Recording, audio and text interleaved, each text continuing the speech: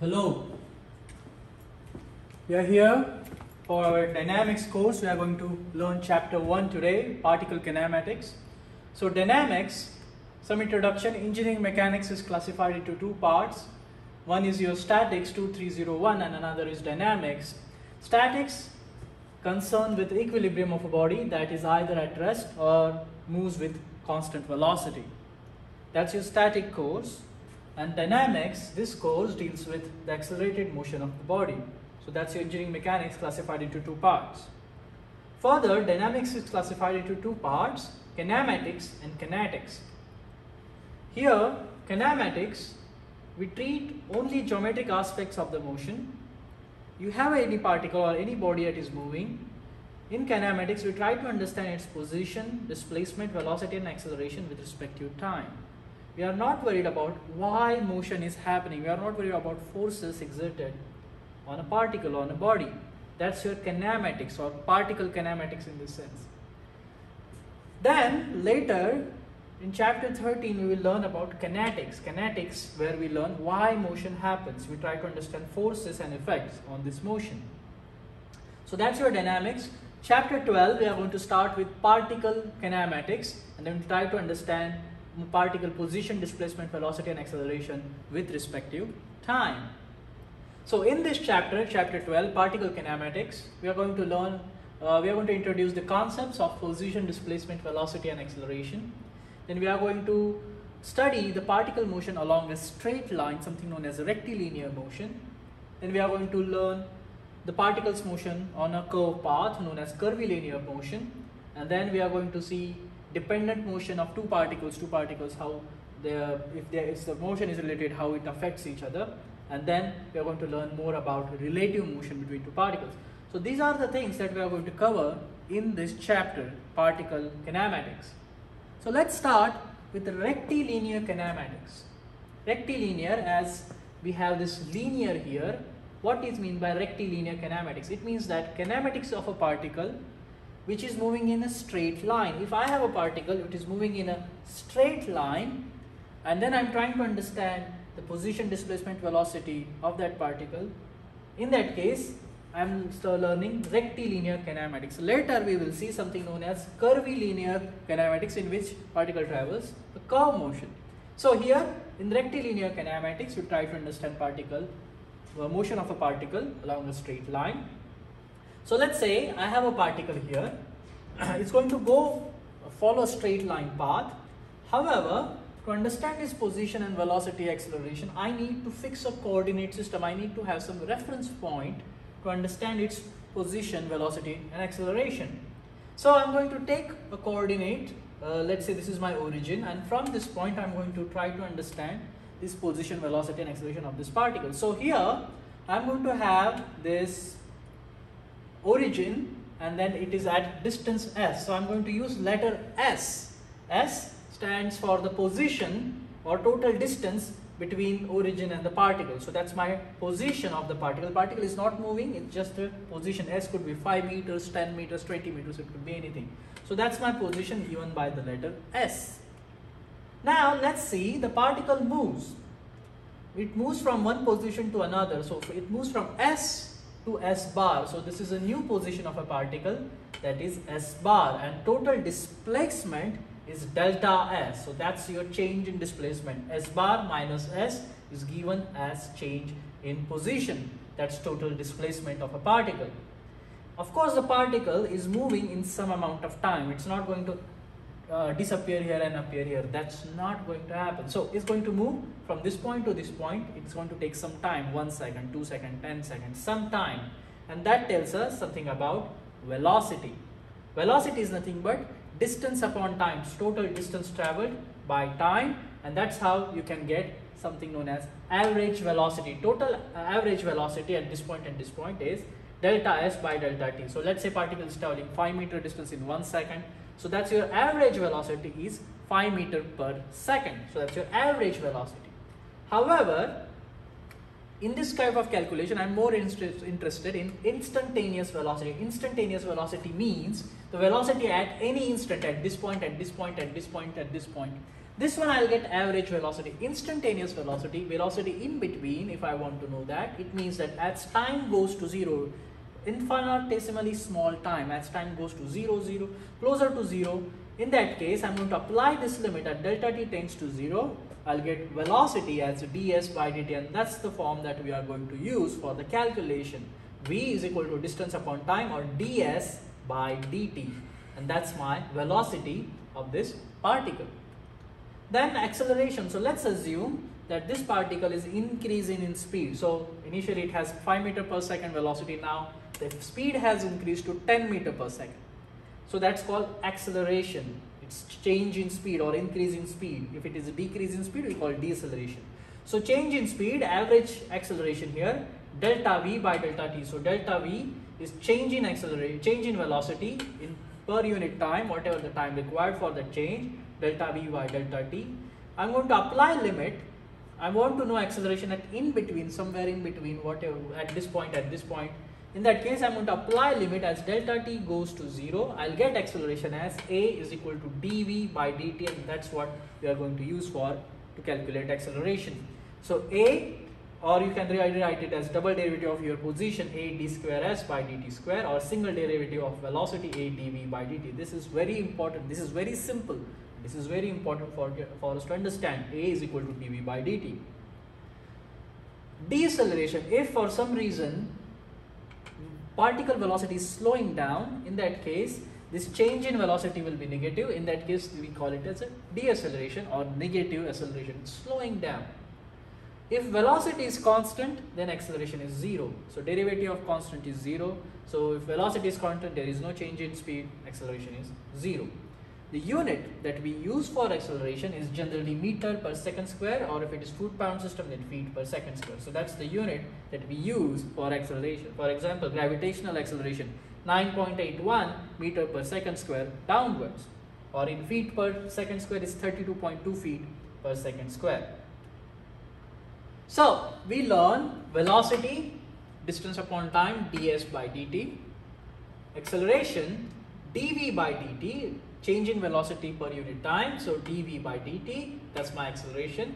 Now if you look at these two equations, what we see is that this dt and this dt is common here. I have dt, I have dt. It means that I can correlate these two equations based on this change in time. And if I can do that, what I will do is that dt is equal to ds by v or is equal to dv by a. And then I can equate these parts and then I can simply say a ds is equal to v dv. It means acceleration into change in distance is equal to velocity into change in velocity. So ADS is equal to VDV. That's the expression I get when I combine these two expressions.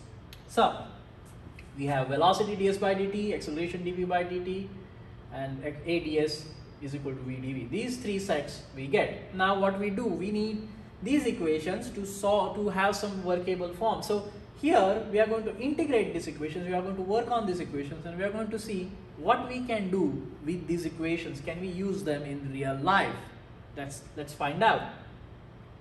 So let's assume that the acceleration is constant. For example, gravitational acceleration is constant. So we learn here, this is the acceleration, a is equal to dv by dt. So let's take a special case. Let's assume that for some reason, particle is moving and the acceleration of that particle is constant like 9.81 meters square gravitational acceleration. So let's say this apple is falling down, so it's falling down with constant acceleration. So if that's the case, what I'm going to do is that I'm going to say call it A is equal to ACC for constant. Now, AC is equal to dV by dt. I know that AC acceleration is dV by dt. I'm going to take that AC is equal to dV by dt and I'm going to integrate it. Let's see what happens. So Let's say a particle is moving, it has some acceleration. I'm going to integrate this constant acceleration. Uh, I'm going to take this dt, here dv by dt at right hand side and then I'm going to integrate it from initial velocity to final velocity of a particle. v0 to v is equal to ac dt, 0 to t then time t 0 to t. I'm going to integrate that. It's a very simple integration and if I do that integration, what I get is v minus v0 upper limit minus lower, lower limit v minus v0 is equal to ac this is a constant I will come and take it out of the integration and then I'll get 0 to t dt. It's very simple integration, it, is, it will come t minus 0. So here I'm going to have v, I'm going to take this v0 at right hand side and I'm going to write down the equation. It is, says v is equal to v0 plus act. That's the very simple equation that I get. What does this equation means? It says that at any given time, the final velocity of a particle, if it is moving with constant acceleration, final velocity of a particle is equal to initial velocity plus acceleration into time. It means with this equation, I can calculate a final velocity of particle at any given time. If time is equal to, if particle is going down, it's moving with constant acceleration, and I want to know its velocity at 3 second mark. All I do is that calculate, uh, find out its initial velocity, let's say it is 0 because you are just dropping the object, let's assume that. Gravitational acceleration into time and then you can calculate its final velocity. It's a very simple expression but tells you about final velocity. This is final velocity, initial velocity plus constant acceleration into time you use that and you can find out final velocity. So let's do a problem. In this problem, what we have, you are going to drop an apple from this tower. And then as this apple goes down, with zero initial velocity, so you are going to drop this apple with zero velocity. So this V0 is zero. Gravitational acceleration, you know, 9.81, you know that. Our origin is here. So gravitational acceleration 9.81, you know. You're going to drop an apple. And then I want to know its velocity at 3 second mark. Means, is you're going to drop it at 0 second, then 1 second, 2 second, 3 second. The time will pass. I want to know what is the velocity of the, the velocity of particle is going to, of apple is going to increase. So at 0 mark it's 0 then 1 is going to increase because the acceleration is accelerating because of the gravity. So at 3 second mark it will be somewhere here.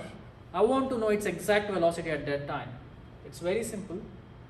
Then what you do is that your final velocity at 3 second mark v you have to calculate v0 is 0 you put 9.81 there and 3 there so 9.81 into 3 it will come around 29.43 second, 43 meter per second. So 9.81 into 3 will become 29.43 and that's your final velocity. So you are going to drop an apple and now you know exact velocity at 3 second mark of that apple is 29.4 meter per second. You can calculate it at 1 second mark, 1.5, 2 second mark. So at 1 second mark it will be 9.81 into 1, it will be 9.81 meter per second and keep remember the writing the unit in your exam. So 29.4 meter per second that's the velocity that's the final velocity of the apple at 3 second mark. You can calculate that by using this equation. It's very simple but very important. Then let's do another integration.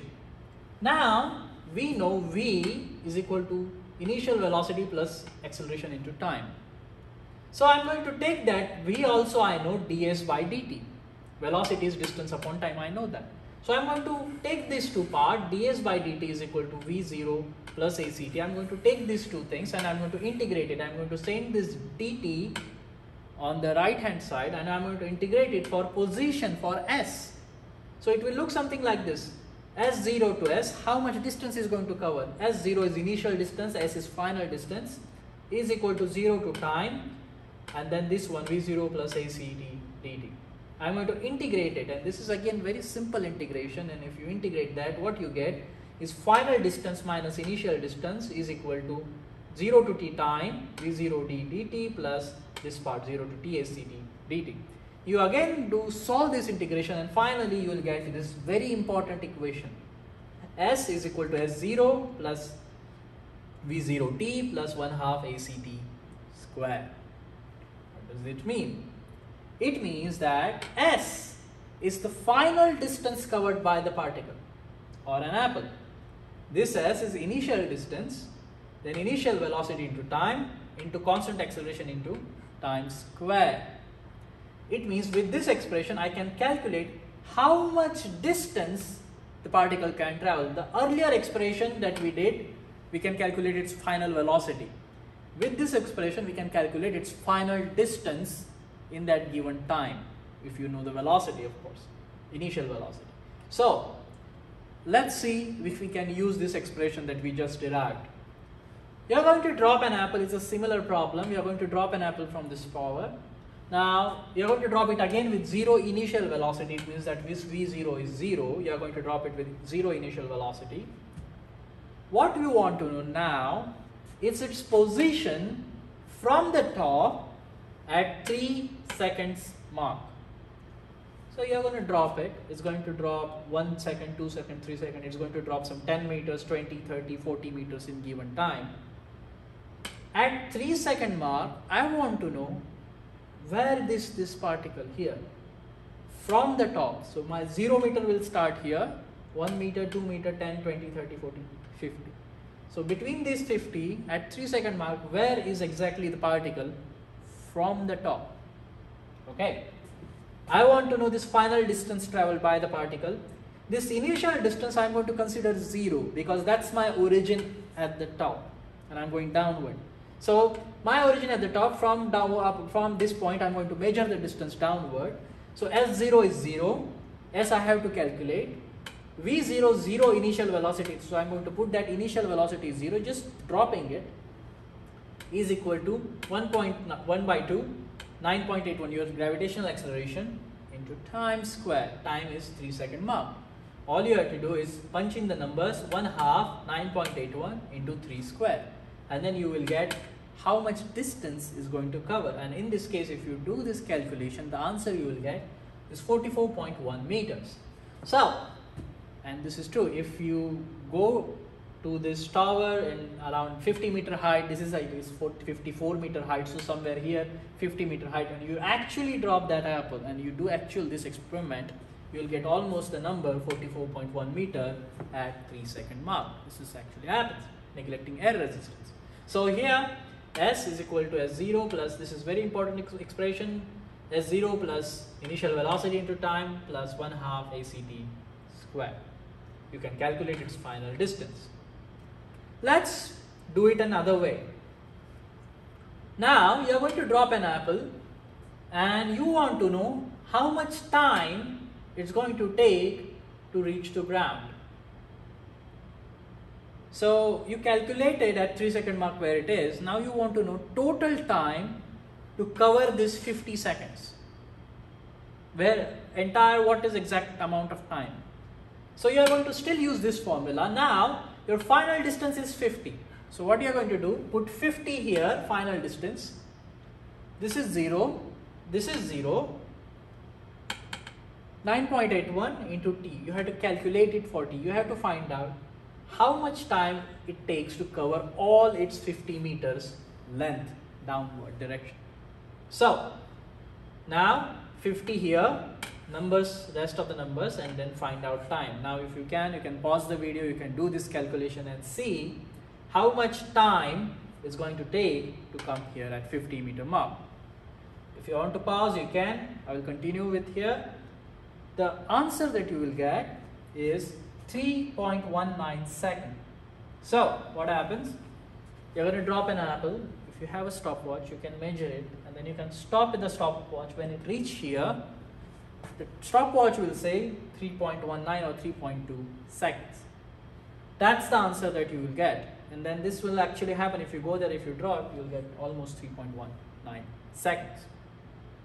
So now you have this formula.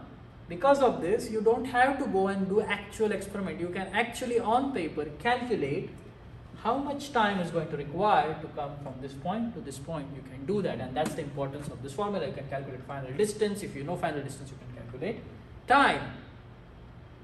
So that's very important expression or equation that you need to remember. Then let's see if we can get third equation. We know v dv is equal to ads or acds that's the third equation that we derived from these two equations from velocity and acceleration. Let's integrate these both expressions. VdV is equal to ACDS integration from final initial velocity to final velocity, initial distance to final distance. And if we do that, if you solve this integration, it's very simple integration. If you solve that, you will get something like this. v square, that's final velocity square, is equal to initial velocity square plus 2 constant acceleration into change in distance s minus s0 final distance minus initial distance. Now this expression does not have time it means for some reason in your problem time is not given only distance and velocity you have in that case you can use this expression to calculate either distance or velocity. So in this case you can calculate final velocity if you know just how much distance is going to cover. This is final distance if you know initial distance you can calculate its final velocity. So it's kind of a combination of uh, first two equations. If you can have that, then you can eliminate t in first two equations and then you will get this expression. Final velocity square is equal to initial velocity square plus 2 acceleration into change in distance. Let's see if we can use this equation. What we have here is an apple dropped from the tower. Now, I want to know what is its velocity at halfway mark. Time is not given, 3 second, 2 second, time is not given here. Are going to drop it with zero velocity. At halfway mark, it means that when it will cover 25 meter distance, at that instant, I want to know velocity. It start with 1, 1 meter, 10 meter, 20, 25 and it's going to continue, it's going to increase in velocity continue. But at that instant, when it reaches at 25 meter mark, I want to know at what velocity is it. If I freeze the time at 25 meter mark, what will be that velocity? I want to know that. So, to calculate that velocity, so this is my final velocity, final means at 25 meter mark. So, I am going to consider the journey from 0 to 25 only. So, 0 is initial point, 25 is meter is final point. So, I'm going to put that 0 meter here, uh, velocity, final velocity here, I'm going I have to calculate that. Initial velocity 0 is here because it's 0 initial velocity. 2 constant acceleration s minus s 0. So here final distance is 25 because that's the final distance. S0 is 0. So we are going to start at 0. So all you have to do is 2 into 9.81 into 25. That's 25 minus 0 is 25. So 2, 9.81 25 and if you do that you will get its velocity if you can solve it and you will take the square root of the answer you will get the final answer as 22.1 meter. If you can do this you can solve this problem by taking calculator. So what does it mean? You start with zero velocity. And velocity increases at 10 meter mark it will have some velocity. 20 meter mark it will have some velocity increased velocity. And at 25 meter mark exactly if you freeze time at that instant halfway mark is going to have velocity of 22.1 meter and that's it. 22.1 meter. So these three expressions very important expressions you get. You have velocity you have distance and then you can calculate again velocity. If you can combine these two equations for time we'll get the third equation. These equations, I like to call it common sense equation. Now, if you want to study for the exam, do one thing. Take a printout of this slide and put it in your bedroom because you are going to need this expression again and again throughout this course. These are very important expressions. Do not ever forget these expressions. Very simple but very important expressions. You can calculate any time, any velocity, any distance if you have constant acceleration of any object all together you can do that on paper you don't have to do experiment so these are the important expressions make sure that you understand let's solve a problem from the book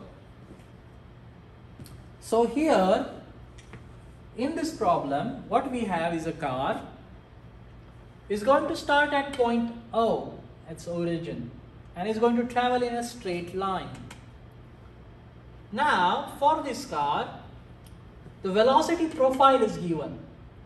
V is equal to 3t square plus 2t. So there is no number for velocity but an equation for velocity. What does it mean is velocity velocities depend on time. So if time is equal to t is equal to 0, velocity was 0. 3t square plus 2t 0 0 0. So at 0 t velocity was 0 then at 1 t is equal to 1 second you can put 1 here 1 here so that will become 3 to 1, 3 plus 2 into 1, 2, so total 5. So velocity will become 5 feet per second at 1 second mark. Then 2 second mark you can put t here then you can calculate velocity. So as it goes ahead the velocity is increasing with time and that's what this equation means. So velocity is increasing with time, v is equal to 3t square plus 2t. That's the profile in feet per second. Velocity is given. What they want us to calculate, its position at 3 second mark. So it's gonna go continue. I want to know how much distance is going to travel in 3 seconds. I have velocity. I want to find out how much distance is going to travel. Then I want to find out acceleration at 3 second mark. I have velocity. I want to know what is its exact acceleration at 3 second mark. So, V is equal to ds by dt. I'm going to start with this part. V is equal to ds by dt. Acceleration A is equal to dv by dt. We are going to use this expression. So first, I want to know, I want to calculate the position, how far is going to go. So for that, I'm going to find the derivative of this part and then I'm going to put t is equal to 3 second.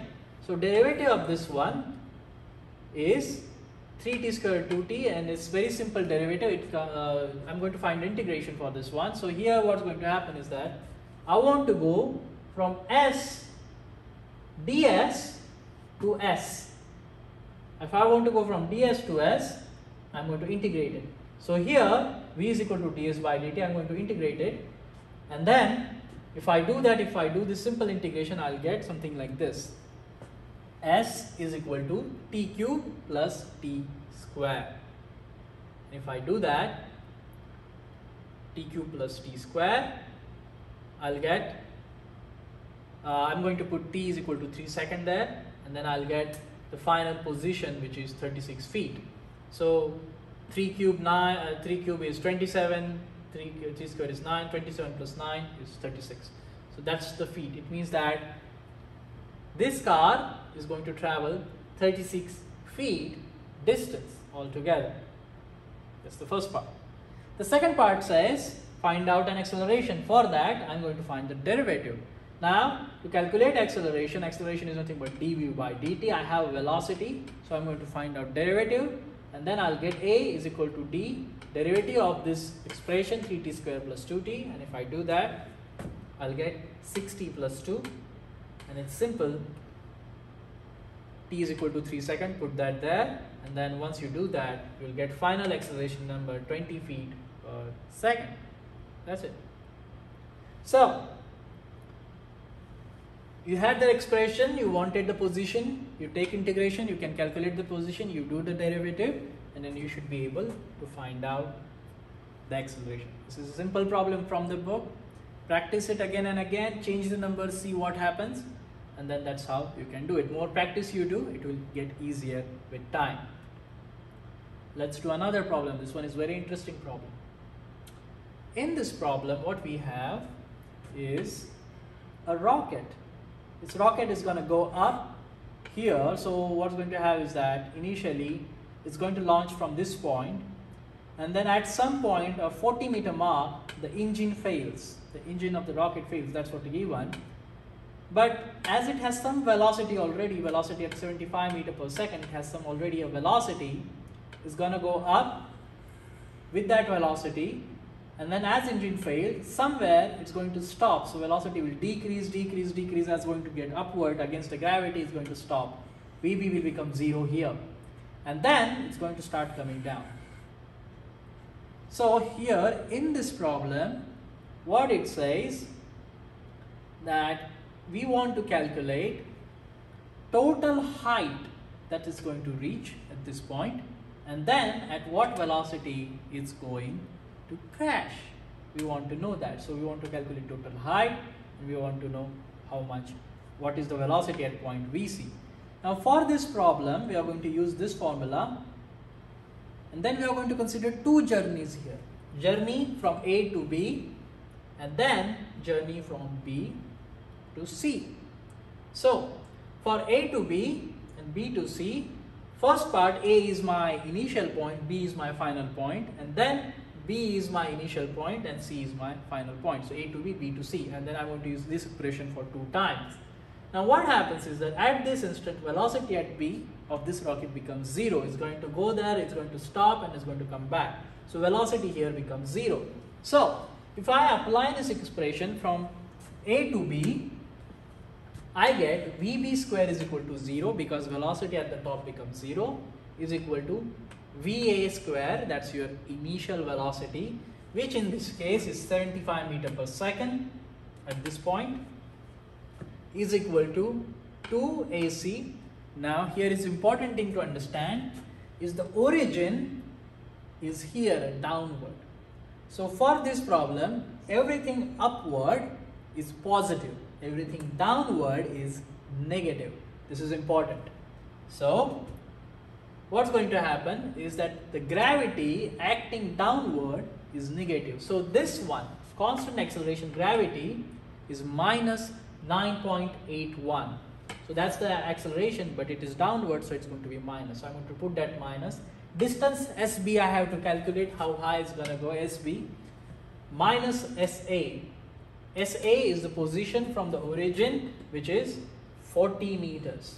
I'm going to put that there. So all I have to do is put the numbers in. VB is 0, VA is 75, minus 2 AC minus 2 9.81 SB I have to calculate minus 40 if I put the numbers in I should get the value for SB then once I have value for SB I am going to consider journey from B to C so here B is becomes initial point C becomes final point so VC square that's my final velocity I want to calculate here is equal to VB square. VB is 0, I know that because it's top point 0 is equal to 2AC and then you have distance here SC minus SB. So SC distance is 0. SB we have calculated here, we can go put that value here and then we can calculate final velocity at which is going to crash. So if you do this calculation, this one is from the book, if you do this calculation, you will get SB as 327 meters. So altogether is going to reach height at 327 meters.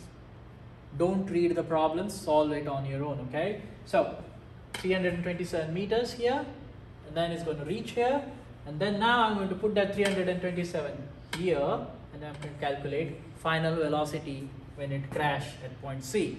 So put the numbers in and then final velocity you will get as minus 8.80.1 meter per second. Minus sign you will get because it's coming downward. So that's the arrow you will get downward direction 80.1 meter per second downward. That's the final velocity. That's what you get. So that's your rectilinear kinematics. Let's stop here and then let's continue this part in the next class or next video.